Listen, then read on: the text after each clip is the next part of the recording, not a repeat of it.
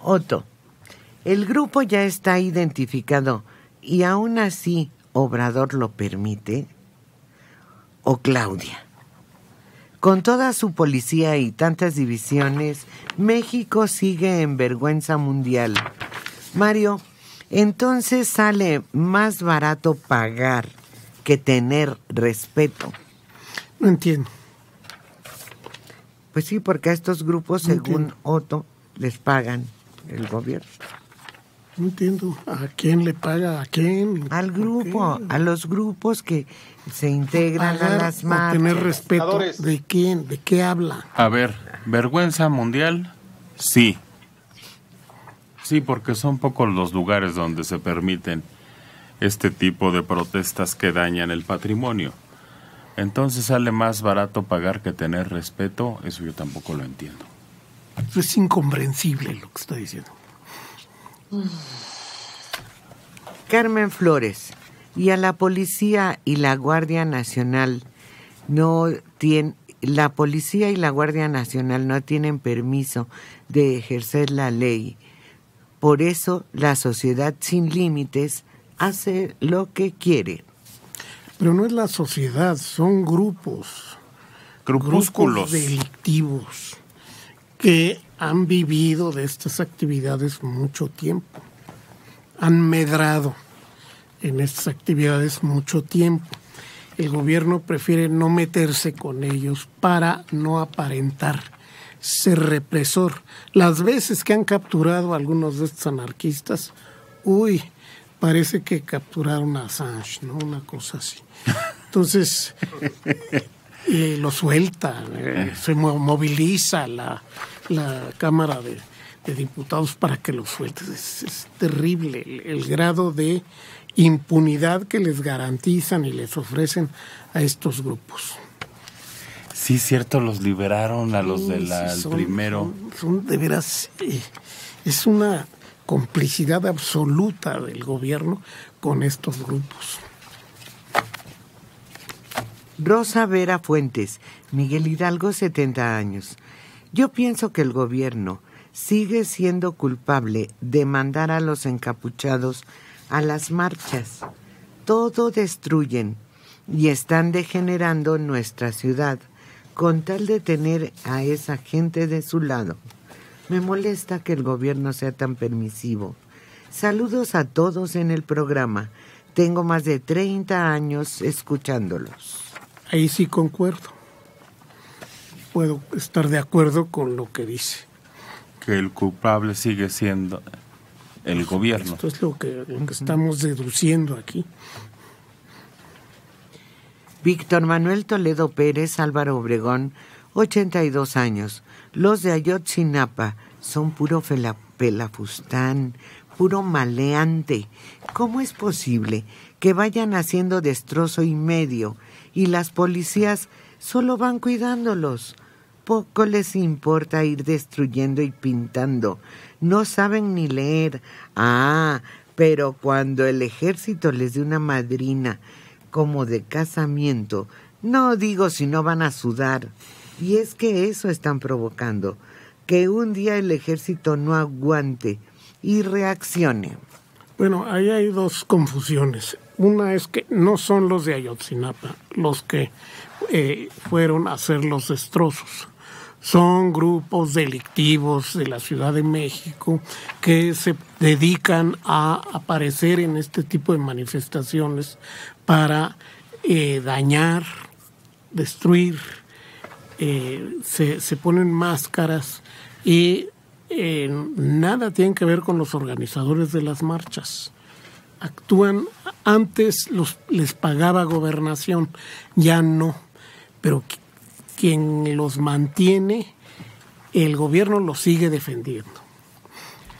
Pero así lo te faltó lo importante, los usaba el gobierno para desacreditar, los movimientos. sí, sí, sí, Que que tenemos que pues que pedir que se arreglen.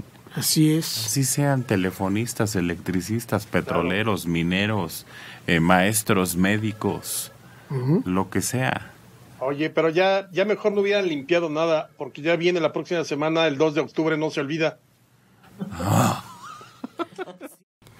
José Luis Sosa Auberi, Ecatepec, 80 años.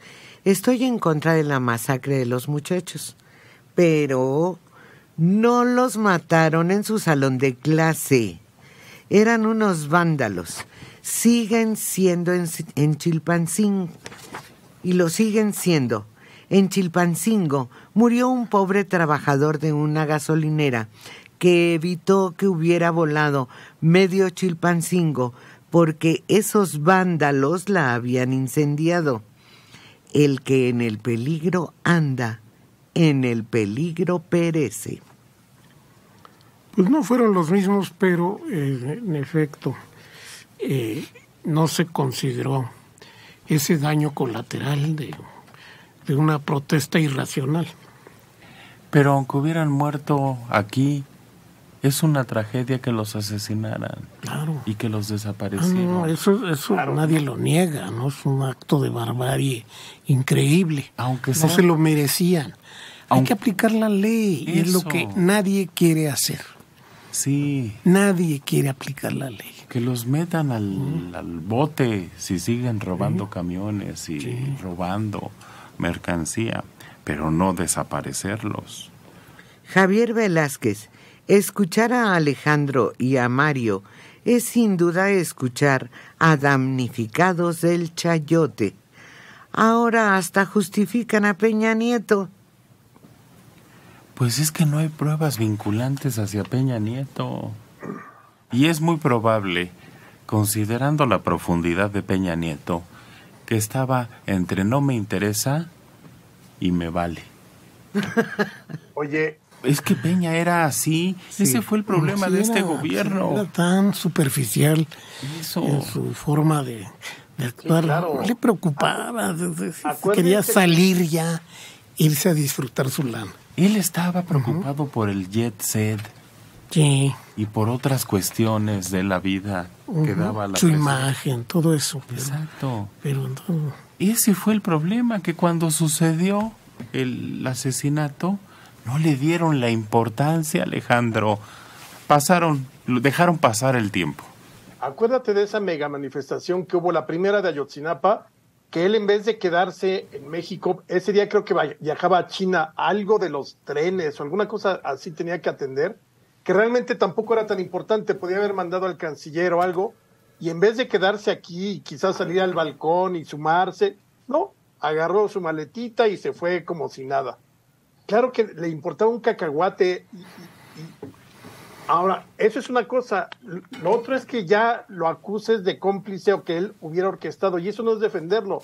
Ahora, si el gobierno tiene las pruebas, creo que aquí el peor de todos es el gobierno actual, que está siendo eh, cómplice de encubrimiento. Porque si ya Encinas tiene las pruebas de que eh, Murillo Karam, de que si Tomás Herón, de que si el presidente y que todos estaban involucrados, deberían girar órdenes de aprehensión ya hoy. ¿Por qué no lo hace el gobierno? Juraron y juraron una y otra vez que iban a luchar contra la corrupción. Entonces, me dirán lo que quieran del chayote, a mí solo me gusta en crema, porque no, de otro modo no me gusta. Pero aquí quien tiene una responsabilidad frente a la sociedad es este gobierno, porque ellos se comprometieron, primero utilizaron de bandera política a los 43 y luego una vez en el gobierno se comprometieron a resolverlo y llegar hasta las últimas consecuencias. Y ya tienen toda la investigación como dicen, órale, que empiecen, que caiga Peña Nieto, que es amiguis del presidente, que caiga Tomás Herón, que caigan todos. Otto, Exijan, Ma- ustedes que adoran al presidente, exíjanle que cumpla su palabra. Otto, Mario, no entiendes o no quieres responder tú mismo, o no quieres responder. Tú mismo dices que esos grupos el gobierno los ampara. El punto es, es mejor pagar que imponer ley respeto. Se lo, la- se lo lees a de otra vez, por favor. No entiendo, sigo sin entender. ¿Qué quiere decir? ¿Está diciendo que el gobierno los paga? ¿Estos grupos? Sí, desde el mensaje anterior es lo que él señala, que son pagados por el gobierno. está diciendo que el gobierno los paga, compruébelo. Porque eso es lo que no hemos sabido, quién los paga, quién los sigue manteniendo. Los que los liberaron eran los del PRD porque los necesitaban. Claro que ahora el PRD mutó y en la política, mientras sean útiles estos grupos, los mantienen. Pero nosotros hablamos de que los pagaba el gobierno anterior. Sí, los pagaba, salían los camiones llenos de ellos de los patios de gobernación aquí en... Eso yo lo vi, yo lo atestigué. Pero hace tiempo. Hace tiempo. Esos grupos siguen. Ahora, ¿quién los paga? Yo no sé. Pero siguen y siguen y el gobierno los respeta. No prefieren no meterse con ellos.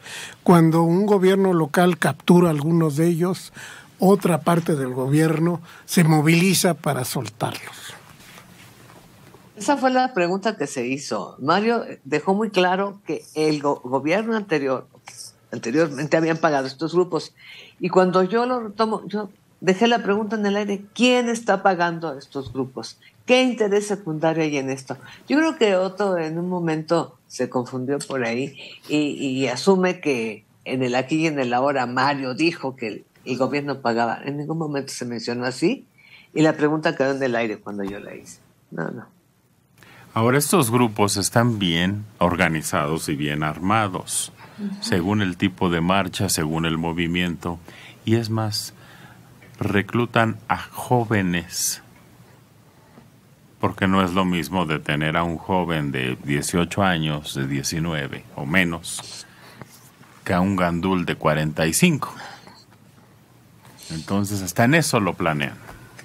Claro. Patricia Perdón, se ven en las imágenes, ahí están, revisen.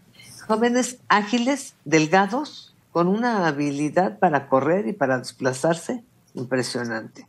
Claro que si no, no, no es, vente para acá. Son grupos entrenados, son grupos que saben específicamente a lo que van. Sus mochilas son todas iguales, llevan dentro cualquier cantidad de elementos, de contraataque, de agresión, de marros, de todo. Y, algo muy importante, no llevan identificación porque en algunas eh, marchas que los han detenido no llevan papeles, no llevan identificación. Patricia Romero, vamos a Sin Censura, programa real aunque les arda. Vamos, todos, vamos.